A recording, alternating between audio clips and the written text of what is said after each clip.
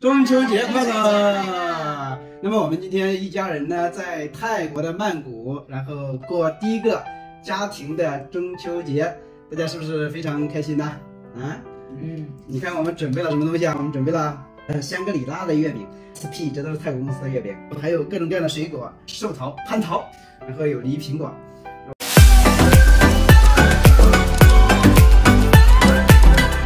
你们想不想吃？想吃的有条件的，然后呢，每个人要讲中秋和月饼相关的故事，否则的话今天就没得吃。选哪个？嗯，我我选这个行吗？那个选的是月饼啊，那个是输的就不算了啊，这个好。OK，那就这个啊，就选这个啊。都好，选这个。那我们今天就把这个香格里拉的月饼拿出来了，精选了一个香格里拉的月饼，现在由 Edward 来主刀切成四份儿。OK，蛋黄的我们知道了，这个这个是蛋黄馅的月饼，在一一到两分钟内讲一个短小精悍的关于月饼和中秋的故事。谁先来？还没想好讲啥。OK，那好吧，那我就讲关于月饼的一个故事。那么呢，在元朝的时候，有一个人呢想把想推翻这个元朝，情报不能告诉很多人，所以呢，他就那个人就想了个办法，就做了个饼，把里面藏了一个纸条，上面写的就是关于起义的事情。所以呢，在八月十五呢那一晚上呢，很多人都在吃月饼，结果发现那这那一张纸条说要起义，要去推翻元朝，所以拿所有武器，然后呢就把元朝推翻了。答案就讲到这了。现在该 Esther 了，Esther 快讲月饼的故事。不讲月饼，OK，你讲啊。我今天要讲的故事呢，就是砍桂树。那从前有个人呢，他叫做木刚，他在一个树下这有根老树，他就觉得那个是个神仙，结果还真的是个神仙。于是呢，他就请教他，老神仙呢，就让他去砍一个桂树。那个桂树呢，那个桂树呢，就在那个月亮上。然后呢，他就飞到月亮上，然后砍桂树去了，不停的在这砍，砍了好几年了，一直没有停。所以呢，我们看月亮的时候，月亮上就看到有一个人在那里砍树。没看，好，你们俩故事讲完了，你太高了们慢慢吃，慢慢品尝月饼。中秋节呢，故事是从春秋时候呢已经开始了。其实呢，从那个发掘的这些纪念物品来说来呢，这些中秋节呢是一种祭祀的传统，就是说，以前古人的时候呢，用这个在八月十五的时候呢祭拜月亮。嗯，祭拜的过程呢，他们会用一些饼啊、水果呀、什么的来祭拜，所以呢就延续到现在，成为一个大的节日。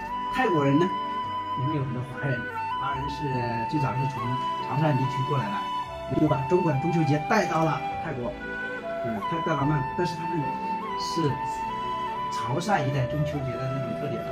过节的时候，他们不叫中秋节，也也祈月节，祈祷的祈，月亮的月叫祈月节。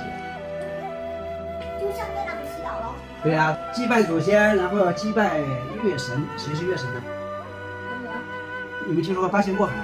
没错，哎，八仙，嗯，为什么要祭祭拜他们呢？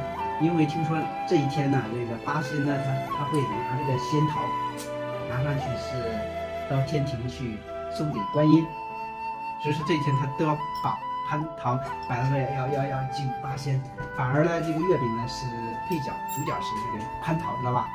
啊，所以说这个是泰国泰国人月饼过中秋节不一样的地方。OK，吃一个奖励一个。好，奖励一个啊，哎。嗯，嗯，我觉得这个月饼味道还是不错的。我特最特最最喜欢的部分就是蛋黄，新鲜的好吃。但是呢，还有月饼那个蛋黄里边馅嘛，除了蛋黄，它还有一个馅。刚开始吃起来甜甜的，后来你越吃的话呢，你会感觉稍微有点腻，不过味道还是不错的。Esther，你觉得怎么样啊？这月饼尝起来嗯，啊？调过去点。就他说这个月饼那个皮是我的最爱，因为它太甜好吃嗯了。这中间我也喜欢吃，的嗯，